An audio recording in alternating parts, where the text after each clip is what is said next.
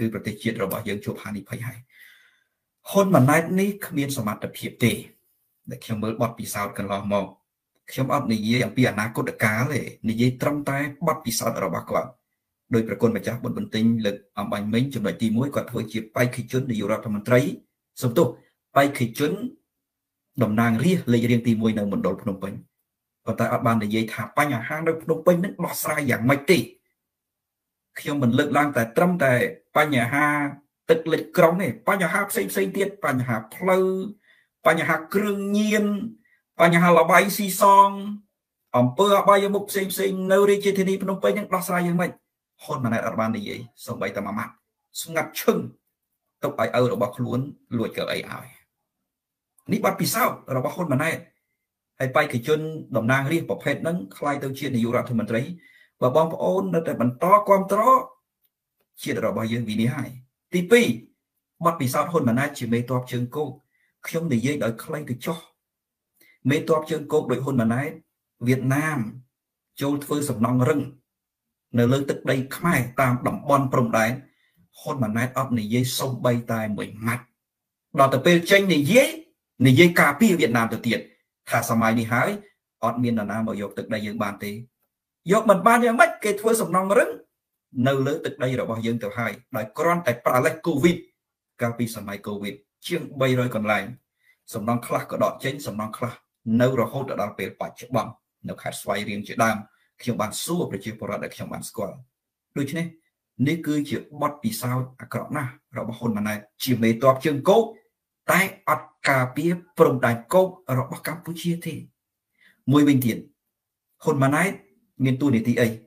ជាប្រធានអង្គភាពប្រឆាំងភេរវកម្មក៏ប៉ុន្តែហ៊ុនម៉ាណែតមិនបានធ្វើសកម្មភាព ក្នុងន័យប្រឆាំងភេរវកម្មទេតែហ៊ុនម៉ាណែតខ្លួនឯងកំពុងតែធ្វើអំពើភេរវកម្មបកផងធ្វើភេរវកម្មជាតិផងភេរវកម្មបកនៅក្នុងណាភេរវកម្មបកមានន័យថាប្រើឈ្មោះបកដើម្បីបន្លាចអ្នកដតីហើយបំរើផលប្រយោជន៍ផ្ទាល់ខ្លួន អានឹងភេរវកម្មបកនោះមានន័យថាទាំងហ៊ុនសែនហ៊ុនម៉ាណែតចេញខ្លួនបន្លាចគម្រាមកំហែងផ្ទៃក្នុងគណៈបកប្រជាជនកម្ពុជាគាត់ថាគាត់បង្ក្រាបបើអ្នកណាហ៊ានជំទាស់ផែនការលើកអំណាចឲ្យហ៊ុនម៉ាណែតឃើញទេគឺបង្ក្រាបបំផិតបំភ័យផ្ទៃក្នុងបកដោយប្រើឈ្មោះបកប៉ុន្តែលើកអំណាចឲ្យហ៊ុនម៉ាណែតអានឹងឲ្យភេរវកម្មបក ភេរវកម្មនឹងគឺអំពើបន្លាចបំផិតបំភ័យគំរាមកំហែងធ្វើទុកបុកម្នេញនៅក្នុងផ្ទៃក្នុងបកហ្នឹងដោយប្រើឈ្មោះបកនឹងទៀតអានឹងភេរវកម្មបកហើយមួយទៀតធ្វើភេរវកម្មរដ្ឋភេរវកម្មរដ្ឋមានន័យថាប្រើឈ្មោះរដ្ឋស្អីក៏ប្រើឈ្មោះរដ្ឋដែរប្រើឈ្មោះជាតិប្រើឈ្មោះរដ្ឋប៉ុន្តែដើម្បីគម្រាមកំហែងបំផិតបំភ័យធ្វើបាបប្រជាពលរដ្ឋឧទាហរណ៍វាយប្រជាពលរដ្ឋ វាយតាំងពីកម្មកររហូតដល់តំណាងរាស្ត្រគេថាវាយដើម្បីរក្សាស្ថិរភាពជាតិដើម្បីការពារសន្តិភាពជាតិឃើញគេយកពាក្យសន្តិភាពជាតិគេយកពាក្យជាតិមកបានក៏ប៉ុន្តែសុទ្ធតែជាអង្គើភេរវកម្មលើប្រជាពលរដ្ឋបន្លាចប្រជាពលរដ្ឋគេទៅវាយប្រជាពលរដ្ឋប្លន់ដីប្រជាពលរដ្ឋកម្លាំងរបស់ហ៊ុនម៉ាណែតណា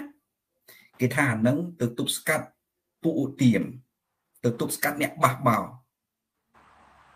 ក្នុងបំណងរបស់គេរក្សាស្ថិរភាពឃើញទេគេថាគេរក្សាស្ថិរភាពជាតិទប់ស្កាត់ពួកឧទាមដើម្បីជាតិគេប្រើឈ្មោះជាតិក៏ប៉ុន្តែទៅវាយប្រជាពលរដ្ឋទៅប្លន់ដីប្រជាកសិករអានឹងហៅថាភេរវកម្មរដ្ឋប្រើឈ្មោះរដ្ឋដើម្បីគម្រាមកំហែងនិងធ្វើទុកបុកម្នេញប្រជាពលរដ្ឋនេះតំណែងរបស់ហ៊ុនសែនណាសំទុកតំណែងរបស់ហ៊ុនម៉ាណែតណាបត់ពិសោធន៍ហ្នឹងណាបត់ពិសោធន៍នៃអ្នកដែលធ្វើភេរវកម្មបកផង និងធ្វើភេរវកម្មរដ្ឋផងរបបដឹកនាំសង្គមបែបហ្នឹងដែលមានបទពិសោធន៍អញ្ចឹងពីហ៊ុនម៉ាណែតតើបងប្អូនសង្ឃឹមថាហ៊ុនម៉ាណែតនឹងមានការកែប្រែទេអត់ទេមួយទៀតគឺជាអង្គើភេរវកម្មតែម្ដងណាការបោះឆ្នោតខុសច្បាប់គឺជាផ្នែកមួយនៃអង្គើភេរវកម្មពីព្រោះក្បត់រដ្ឋធម្មនុញ្ញគម្រាមកំហែងប្រជាពលរដ្ឋសម្លុតផ្ទៃក្នុងគណៈបកប្រជាជនកម្ពុជាដើម្បីលើកតំណែងនាយករដ្ឋមន្ត្រីឲ្យគុណម្ដាយអានឹងភេរវកម្មបក ដល់ភេរវកម្មរដ្ឋបុគ្គលម្នាក់ដែលឡើងកាន់តំណែងតាមរបៀបភេរវកម្មតាំងពីបកដល់រដ្ឋបែបនេះតើបងប្អូនអាចទុកចិត្តទេថាមានសមត្ថភាពនឹងជួយប្រទេសជាតិបានពួកភេរវករមិនមែនមកដើម្បីជួយទេពួកភេរវករមកដើម្បីបំផ្លាញអានេះគឺជាការពិតណាបងប្អូនចំណុចទី4បងប្អូនមើលតំណែងមួយទៀតរបស់ហ៊ុនម៉ាណែតយើងមើលហ៊ុនម៉ាណែតដឹកនាំអ្វីហើយឆ្លោះបញ្ចាំងឲ្យពិតប្រាកដ ទើបយើងដឹងថាហ៊ុនម៉ាណែតនឹងមានសមត្ថភាពឬក៏អត់ហ៊ុនម៉ាណែតជាប្រធានយុវជនរបស់គណៈបកប្រជាជនកម្ពុជាប៉ុន្តែបងប្អូនកាលណាគាត់ជាប្រធានយុវជនរបស់គណៈបកកណ្ដាលអំណាចគួរណាស់គាត់ផ្ដោតទៅលើការអប់រំនិងផ្សព្វផ្សាយអប់រំផ្សព្វផ្សាយយុវជនឲ្យចាក់ផុតអំពីគ្រឿងអបាយមុខលបែងស៊ីសងគ្រឿងញៀនគ្រឿងស្រវឹងជាដើម តែហ៊ុនម៉ាណែតបានធ្វើរឿងអស់ហ្នឹងទេអត់ដែលទេហ៊ុនម៉ាណែតមិនបានផ្សព្វផ្សាយឬធ្វើសកម្មភាពទប់ស្កាត់យុវជនកុំឲ្យធ្លាក់ទៅក្នុងអំពើអបាយមុខគ្រឿងញៀនគ្រឿងស្រវឹងនោះទេអត់ដែលទេពីព្រោះក្រុមហ៊ុនធំធំនៅក្នុងប្រទេសកម្ពុជាសុទ្ធតែជាក្រុមហ៊ុនរបស់ក្រុមគ្រួសារហ៊ុនក្រុមហ៊ុនគ្រឿងស្រវឹងហ្នឹងក្រុមហ៊ុនសាហ្នឹងរកស៊ីជាមួយក្រុមគ្រួសារហ៊ុនស្ទើរតែទាំងអស់ដូច្នេះហ៊ុនម៉ាណែតអត់បានទប់ស្កាត់ទេហើយថែមទាំងមិនទប់ស្កាត់ការផ្សព្វផ្សាយទៀត នៅលើបណ្ដាញទូរទស្សន៍ក្នុងប្រទេសកម្ពុជាបងប្អូនបើកមើលគេផ្សាយពាណិជ្ជកម្មតែពីរធំឯងគឺល្បីហ្មងទី1ពាណិជ្ជកម្មស្រាហើយទី2គឺពាណិជ្ជកម្មអំណាចក្រុមគ្រួសារហ៊ុនពាណិជ្ជកម្មលើកហ៊ុនសែនពាណិជ្ជកម្មលើកហ៊ុនម៉ាណែតតែប៉ុណ្្នឹងឯងទូរទស្សន៍នៅក្នុងស្រុកទាំងអស់បងប្អូនបើកមើលបន្តិចតិចវាចេញឃ្លីបហ្នឹងបន្តិចតិចចេញឃ្លីបវីដេអូហ្នឹងនេះយុវជនដូចហ៊ុនម៉ាណែតដែលជាអ្នកដឹកនាំយុវជនរបស់គណៈបកប្រជាជនកម្ពុជានាំការរីកចម្រើនអីទេអត់ទេបងប្អូនមើលទិន្នន័យមួយ អ្នកសាគ្រឿងញៀនយុវជននៅប្រទេសកម្ពុជាយើងអ្នកសាគ្រឿងញៀនដែលសមត្ថកិច្ចចាប់បានខ្ញុំយកទិន្នន័យពីសមត្ថកិច្ចក្រសួងមហាផ្ទៃទៅចោះខ្ញុំអត់និយាយអំពីទិន្នន័យដែលខ្ញុំរកឃើញទេក្រសួងមហាផ្ទៃចាប់យុវជន អ្នកសាគ្រឿងញៀនបានក្នុងមួយថ្ងៃយ៉ាងតិច20នាក់ថ្ងៃខ្លះរហូតដល់70នាក់ក៏មានដែរមួយថ្ងៃ20ទៅ70នាក់ហើយយើងគិតទៅមើលក្នុងមួយឆ្នាំប្រហែលក្នុងមួយឆ្នាំយ៉ាងទៀបជិត1000នាក់ទៅហើយ នេះអ្នកសាច់គ្រឿងញៀននៅទូទាំងប្រទេសកម្ពុជា ហើយបើនិយាយអំពីកំណើតនៃគ្រឿងញៀនដែលចាប់បានវិញតាមក្រសួងមហាផ្ទៃក្នុងមួយឆ្នាំមួយឆ្នាំកើនពី2%សំទុះកើនពី200%ទៅ300%កើនជា2កើនជា3នៃទំហំគ្រឿងញៀនដែលចាប់បាននៅក្នុងប្រទេសកម្ពុជាតើវិបត្តិនេះហ៊ុនម៉ាណែតអាចដោះស្រាយបានទេដោះស្រាយមិនបានទេពីព្រោះ ហ៊ុនម៉ាណែតខ្លួនឯងដែលជាប្រធានយុវជនផងហ៊ុនម៉ាណែតខ្លួនឯងដែលជាមេតបជើងគោកន្លងមកផងហ៊ុនម៉ាណែតខ្លួនឯងដែលជាប្រធានអង្គភាពប្រឆាំងភេរវកម្មផងអត់បានរួមចំណែកធ្វើការទប់ស្កាត់ក្រៅតែពីល្បីឃើញពាក់ព័ន្ធទៅនឹងអង្គើអក្រិតកម្មនឹងទៅវិញឧទាហរណ៍កម្លាំងរបស់ហ៊ុនម៉ាណែតធ្វើបាបប្រជាពលរដ្ឋកម្លាំងរបស់ហ៊ុនម៉ាណែតពាក់ព័ន្ធទៅនឹងគ្រឿងញៀនកម្លាំងហ៊ុនម៉ាណែតពាក់ព័ន្ធទៅនឹងការកាប់បំផ្លាញព្រៃឈើខុសច្បាប់ជាតិជាដើមដូច្នេះ ខ្ញុំមើលឃើញថាហ៊ុនម៉ាណែតមានបទពិសោធន៍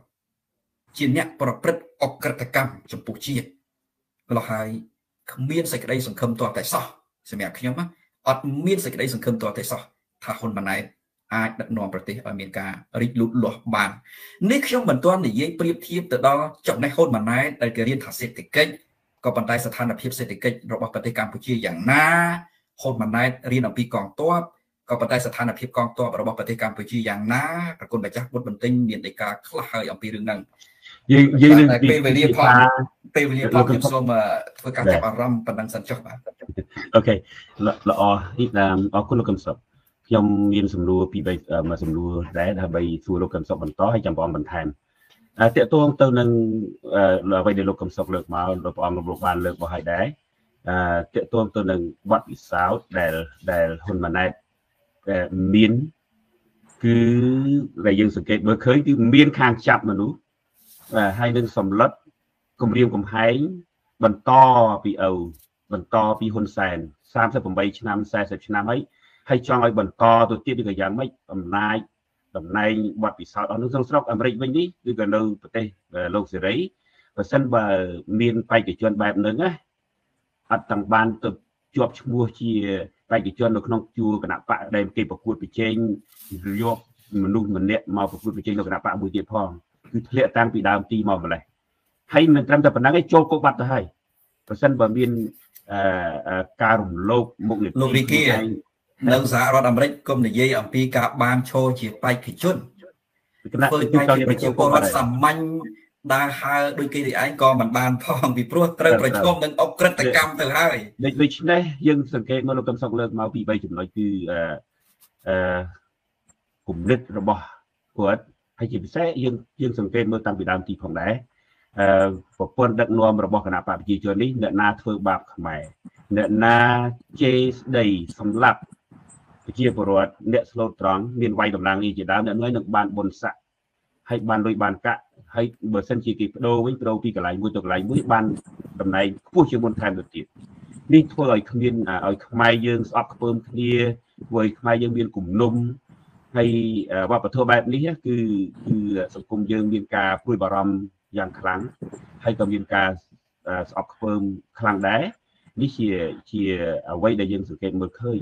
ហើយបន្ទាប់មកទៀតគឺ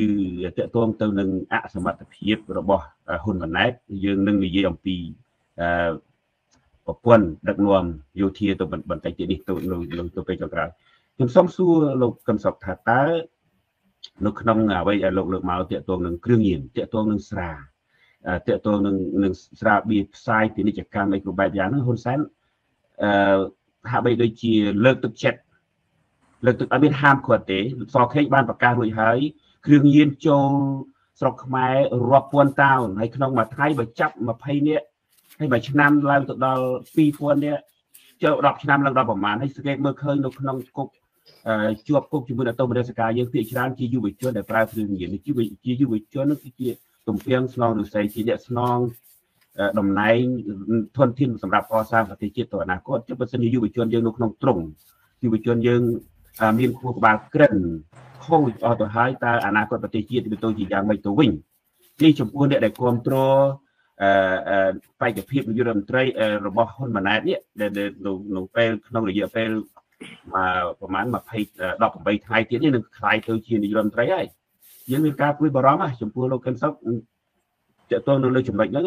តើលោកកឹមសុខសូមបំភ្លឺបន្តិចមកចាំព្រះអង្គបន្ថែមតាមក្រោយថ្ងៃទី22 ខែសីហាឆ្នាំ2023គឺជាថ្ងៃដែលមនុស្សល្ងងបំផុត នៅលើពិភពលោកឡើងធ្វើជានាយករដ្ឋមន្ត្រីពីព្រោះគាត់គ្មានបទពិសោធន៍ល្អក្នុងការជួយប្រទេសជាតិទេខ្ញុំរៀបរាប់តំណែងដែលគាត់កាន់អំបញ្ញមិញគាត់គ្មានទាំងឆន្ទៈក្នុងការជួយប្រទេសជាតិដែរខ្ញុំលើកតែពីរចំណុចទីឆន្ទៈទី1ក្នុងនាមគាត់ជាមេតបជើងគោកដ៏ធំមួយ វៀតណាមចូលបោះតង់ធ្វើសំណង់រឹងនៅលើទឹកដីខ្មែរគ្រាន់តែប្រើលេសកូវីដគាត់ការពារវៀតណាមទៅហើយគាត់ថាសម័យនឹងហើយគ្មាននរណាយកទឹកដីយើងបានទេចុះគេយកតាមរបៀបអន្តោប្រវេសន៍បង្ហូរចូលគេយកតាមរបៀបផ្សេងផ្សេងទៀតច្រើនវិធីណាស់ដែលគេអាចយកបានទាំងវិស័យសេដ្ឋកិច្ចពាណិជ្ជកម្មក៏គេអាចគ្រប់គ្រងយើងបានដែរឃើញទេគាត់គ្មានឆន្ទៈនៅក្នុងការការពារខ្មែរទេប៉ុន្តែការពារវៀតណាមទៅវិញអត់ឆន្ទៈអត់ឆន្ទៈទី2 មកដល់ពេលនេះគាត់ប្រងឡើងធ្វើជានាយករដ្ឋមន្ត្រីទៅហើយតែអត់មានកម្មវិធីនយោបាយណាសោះដែលដោះស្រាយបញ្ហាជីវវិបត្តិជាតិការអប់រំដោះស្រាយយ៉ាងម៉េចសុខាភិបាលដោះស្រាយយ៉ាងម៉េចសេដ្ឋកិច្ចដោះស្រាយយ៉ាងម៉េចការការពារជាតិដោះស្រាយយ៉ាងម៉េចអន្តោប្រវេសន៍ដោះស្រាយយ៉ាងម៉េចបញ្ហាទឹកដីព្រំដែនដោះស្រាយយ៉ាងម៉េចទាំងអស់នេះសុទ្ធតែជាវិបត្តិជាតិកម្ពុជាយើង ការងារប្រជាពលរដ្ឋដោះស្រាយយ៉ាងម៉េចអត់មាន បានបង្ហាញនៅដំណោះស្រាយទេមានតែមួយគត់ដែលគាត់និយាយអំពីកម្មវិធីនយោបាយរបស់គាត់គឺធ្វើតាមឪហើយឪរបស់គាត់បើទោះបីជាគណៈបកប្រជាជនកម្ពុជាសរសេរកម្មវិធីនយោបាយរាប់រយចំណុចល្អយ៉ាងណាក៏ដោយគាត់អនុវត្តតែមួយទេគឺគម្រាមកំហែងធ្វើបាបប្រជាពលរដ្ឋលុកជាតិបំផ្លាញជាតិដើម្បីរក្សាអំណាចក្រុមគ្រួសារហ៊ុនដូចគាត់បញ្ជាក់ចុងក្រោយណាបើកូនគាត់មានបញ្ហាអ្វីគឺគាត់មកធ្វើជានាយករដ្ឋមន្ត្រីវិញមានន័យថាតំណែងនាយករដ្ឋមន្ត្រី គាត់គិតថាត្រូវតែជារបស់ក្រុមគ្រួសារហ៊ុនឃើញទេឃើញហ៊ុនម៉ាណែតអត់មានឆន្ទៈទេ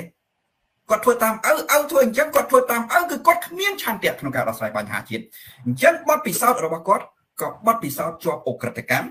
ឆន្ទៈរបស់គាត់ក្នុងការដោះស្រាយបញ្ហាជាតិក៏គ្មានដូច្នេះដោះស្រាយបញ្ហាប្រទេសជាតិមិនបានទេបញ្ហាប្រទេសជាតិរបស់យើងខ្ញុំនិយាយដោយសង្ខេបវិស័យទេសចរហ៊ុនម៉ាណែត បានបង្ហាញថាដោះស្រាយយ៉ាងណាទេពីព្រោះទេសចរជាផ្នែកមួយនៃឆ្អឹងខ្នងទាំង4របស់កម្ពុជាក្នុងចន្ទុលស្នូលសេដ្ឋកិច្ចរបស់កម្ពុជាទេសចរហើយមកដល់ពេលនេះទេសចរទៅប្រទេសកម្ពុជាមិនសូវមានទេកាលណាចង់បង្កើនទេសចរត្រូវបង្កើនសន្តិសុខសន្តិសុខក្នុងផ្ទៃក្នុងជាតិណាហើយសន្តិសុខយ៉ាងម៉េចទីមួយគ្រឿងញៀនខ្លាំងពេកគ្មានសន្តិសុខទេ នៅស្រុកខ្មែរយើងបច្ចុប្បន្នណា សូម្បីតែកូនក្មេងនារីនារីតូចតូចទៅរៀនហ្នឹងណាឪពុកម្ដាយមិនហ៊ានបដ ாய் ផងត្រូវនាំទៅរៀនហើយនាំកូនពីសាលាមកវិញឃើញខាត់ពេលវេលារបស់គាត់ទេដោយសារអីអសន្តិសុខអសន្តិសុខមែនទែនអសន្តិសុខមួយទៀតគឺអសន្តិសុខនៃការកើតឡើងនៅគេឈ្មោះអាក្រក់ឧទាហរណ៍បោះឆ្នោតខុសច្បាប់ប្លន់អំណាចកាលណាមានគេឈ្មោះអាក្រក់ដល់ប្រទេសជាតិណា នឹងប៉ះពាល់ដល់វិស័យទេសចរហើយអញ្ចឹងហ៊ុនម៉ាណែតបានន័យថាឡើងមកឡើងបង្កើតបញ្ហាបង្កើតបញ្ហាដល់វិស័យទេសចររបស់ជាតិតែម្ដងពីព្រោះគាត់ឡើងដោយធ្វើភេរវកម្មបកធ្វើភេរវកម្មរដ្ឋបោះឆ្នោតខុសច្បាប់ទៅធ្វើនាយករដ្ឋមន្ត្រីខុសច្បាប់តើអ្នកទេសចរឯណាចង់ទៅឃើញប្រទេសដែលមានគេឈ្មោះអញ្ចឹងអត់ចង់ឃើញទេអានឹងប៉ះពាល់ធំធេងណាស់ដល់វិស័យទេសចរ របស់ប្រទេសកម្ពុជាយើងឥឡូវវិស័យមួយទៀតវិស័យកសិកម្មវិស័យកសិកម្មរបស់ប្រទេសយើងក៏ដុនដាបខ្លាំងដែរបងប្អូនពិចារណា វិស័យកសិកម្មដល់ថ្នាក់កសិកររកចាំស្រ័យទៅហើយអ្នកចិញ្ចឹមសត្វបោះបង់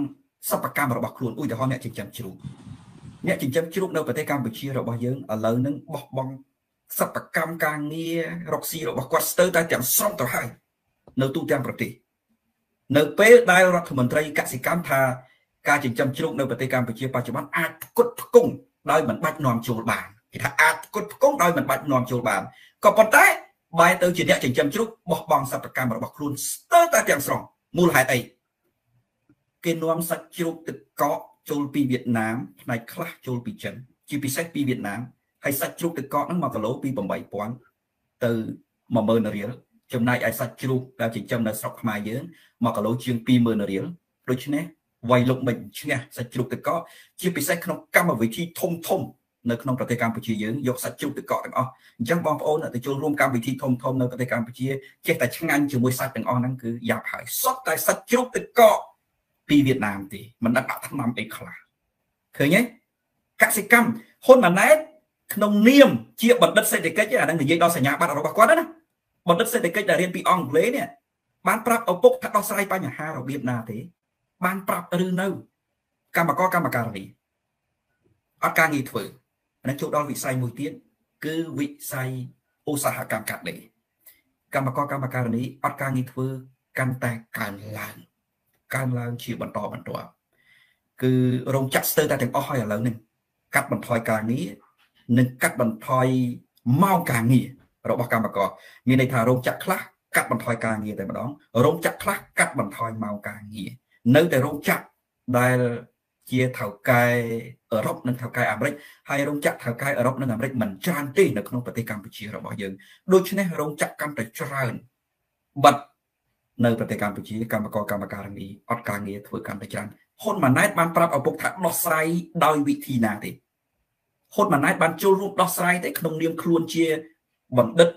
សេដ្ឋកិច្ចពីប្រទេសអង់គ្លេសនោះហើយក្នុងនាមខ្លួនជាសេនាធិការជំនិតរបស់ឪពុកដែលជានាយករដ្ឋមន្ត្រីគួរតែបង្ហាញសមត្ថភាពដោះស្រាយប៉ុន្តែអត់បានដោះស្រាយទេបញ្ហាសេដ្ឋកិច្ចនេះវាជះឥទ្ធិពលធំណាស់ទៅដល់កម្មករកម្មការនីទៅដល់កសិកររបស់យើង ហើយកាលណាកម្មករកម្មការនីប៉ះពាល់ហើយវិស័យផ្សេងផ្សេងទៀតប៉ះពាល់ហើយក្នុងពេលដែលសាំងឡើងថ្លៃទំនិញផ្សេងផ្សេងទៀតក៏ឡើងថ្លៃ គឺគ្រប់គ្នាជួបវិបត្តិហិរញ្ញវត្ថុហើយអ្នករត់ម៉ូតូដុតអ្នករត់កង់3អ្នករត់តាក់ស៊ីអាជីវករផ្សេងផ្សេងអត់ម៉ួយដូច្នេះសង្គមនឹងច្របូកច្របល់ឃើញទេតើហ៊ុនម៉ាណែតបានដោះស្រាយទេអត់បានដោះស្រាយទេប៉ុន្តែបងប្អូនក៏សង្កល់នៅពេលដែលហ៊ុនសែនចាប់ផ្ដើមថាលើកតំណែងនាយករដ្ឋមន្ត្រីឲ្យហ៊ុនម៉ាណែតបញ្ហាអស់ទាំងហ្នឹងកាន់តែធ្ងន់ធ្ងរឡើងធ្ងន់ធ្ងរឡើងទៅវិញបងប្អូនក៏សង្កល់ណាធ្ងន់ធ្ងរឡើងធ្ងន់ធ្ងរឡើងធ្ងន់ធ្ងរឡើង ខ្ញុំនិយាយមួយទៀតតកតនៅវិស័យទេសចរក្តីតកតនៅវិស័យកសិកម្មក្តីតកតនៅវិស័យជំនួញក្តីគឺការវិនិយោគការវិនិយោគមួយដែលមានការប៉ះពាល់មែនទែននៅប្រទេសកម្ពុជាយើងរហូតទៅដល់អ្នកវិនិយោគឥឡូវនឹងរត់ចោលជំនួយវិនិយោគរបស់ខ្លួនឧទាហរណ៍អ្នកវិនិយោគលើវិស័យកសិកម្មដោយសារតែបញ្ហាទីផ្សារផងសាំងឡើងថ្លៃផងជីកសិកម្មថ្លៃផងរត់ចោល អ្នកវិនិយោគខ្មែររត់ចោលនៅសល់តែអ្នកវិនិយោគវៀតណាមនឹងចិនទេអ្នកវិនិយោគលើវិស័យទេសចរធ្វើផ្ទះសំណាក់ធ្វើផ្ទះសំណាក់ឥឡូវហ្នឹងរត់ចោលផ្ទះសំណាក់ហើយអ្នកខ្លះរត់ចោលផ្ទះសំណាក់របស់ខ្លួនហើយរត់ចោលសំណង់ផ្ទះសំណាក់របស់ខ្លួនហើយរកលុយសងគេមិនបានទៀតសងបំណុលធនាគារអត់បានទេដូច្នេះនេះគឺជាវិបត្តិធំណាស់ចំណុចមួយទៀតដែលយើងឃើញជាក់ស្ដែងហើយពាក់ព័ន្ធទៅនឹងហ៊ុនម៉ាណែតផ្ទាល់ គឺវិស័យអចលនទ្រព្យវិស័យអចលនទ្រព្យនៅប្រទេសកម្ពុជាណាអត់មានក្រុមហ៊ុនអចលនទ្រព្យណាដែលរកស៊ីគ្មានអធិបុលក្រុមគ្រួសារហ៊ុននៅពីក្រោយទេអត់មានទេយើងឧទាហរណ៍ថាលេងនវត្រាមួយចុះឃើញលេងនវត្រាឯងលេងនវត្រាបច្ចុប្បន្នដល់កម្រិតណាហើយដល់កម្រិតរកស៊ីបោកប្រាស់អតិថិជនម្ដងហើយម្ដងទៀតហើយលេងនវត្រាជានរណាជាអ្នកកាន់លុយឲ្យហ៊ុនម៉ាណែតហ្នឹងជាអ្នកកាន់លុយឲ្យក្រុមគ្រួសារហ៊ុនហ្នឹងគ្រាន់តែករណីលេងនវត្រានេះមួយណាហ៊ុនម៉ាណែតដោះស្រាយមិនចេញផង តើហ៊ុនម៉ាណែតមានសមត្ថភាពអីទៅដោះស្រាយបញ្ហាជាវិបត្តិអចលនទ្រព្យនិងសំណង់នៅប្រទេសកម្ពុជាបានអត់បានទេដូច្នេះហើយអំណាចរបស់ហ៊ុនម៉ាណែតនេះណាឡើងមកគឺគាំងបងប្អូនចាំមើលឡើងមកគាំងសេដ្ឋកិច្ចឡើងមកគាំងដំណើរជាតិតែម្ដងដើម្បីកុំឲ្យសេដ្ឋកិច្ចនិងដំណើរជាតិរបស់យើងគាំងគ្រាន់តែទប់ស្កាត់កុំឲ្យហ៊ុនម៉ាណែតឡើងកាន់អំណាចអរគុណលោកកឹមសុខព្រះអង្គខ្ញុំកណាបាត់ព្រះអង្គទៅណាចេះ សូមសូមនិមន្តព្រះអង្គបច្ចេកទេសយើងហ្នឹងហើយពូអឺសូមកណាស្ដាប់លោកកឹមសុខមានប្រសាសន៍ទៅហ៊ុនម៉ាណែតអសមត្ថភាពគ្រប់បែបយ៉ាងទាំងអស់ទាំងផ្នែកទេសចរទាំងផ្នែកកសិកម្មទាំងផ្នែកឧស្សាហកម្មទាំងផ្នែកការបណ្ដាក់ទុននៃទាំងអស់ហ្នឹងខាងខាងជាពិសេសតើតងនឹងរឿងថវិកាទាំងអស់ហើយប៉ុន្តែហាក់បីដូចជាមានសមត្ថភាពឯគុណមានសមត្ថភាព ត្រង់ថាឲ្យការពារយួនទៅទៀតយើងមិនចង់ប្រើពាក្យយួនភាសាឬអាងទេប៉ុន្តែរឿងនិយាយដែលយើងពីដើមទីមកព្រំដែនអត់អឺកាន់តែខិតចូលមកជាពលរដ្ឋដែលនៅតាមព្រំដែនកាន់តែវេទនាហើយហើយសំណងរឹងសំណងអីដែលគេដាក់បញ្ចូលមកនេះគឺគឺថាជួយការពារមានសមត្ថភាពជួយការពារក្រុមគ្រួសារខ្លួនឯងហើយមានសមត្ថភាពជួយការពារជនបរទេស តែអត់មានអត់មានសមត្ថភាពជួយការពារខ្មែរទេតែត្រង់ហ្នឹងតើហ៊ុនម៉ាណែតនឹងចូលមកដឹកនាំខ្មែរជួយការពារនាយករដ្ឋមន្ត្រីខ្មែរឬក៏នាយករដ្ឋមន្ត្រីបរទេសអានេះចូលយើងនិយាយពិភាក្សាឲ្យជ្រៅជាងនឹងបន្តិចទៀតគាត់